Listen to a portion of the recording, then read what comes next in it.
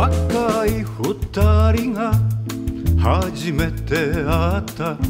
あの輝く月の夜。田舎へ行こうと。あの子は誘う。期待に胸弾む。海は泡立ち。花は咲き乱れ。二人は砂浜を歩く。余計な服を脱ぎ捨てながら気分は高まるのこの世界のすべてを君に好きな君に捧げた喜びだけで僕は幸せよ。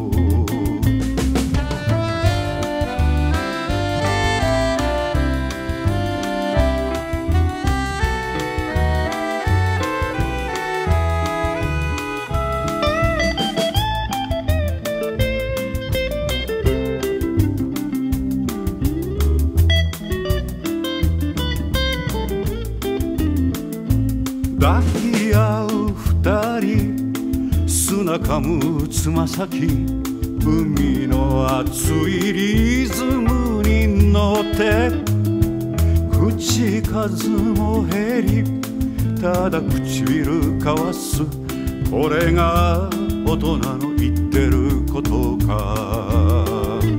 この世界のすべてを君に好きな君に捧げたい。でもこの小さな喜びだけで僕は幸せよ。僕は幸せよ。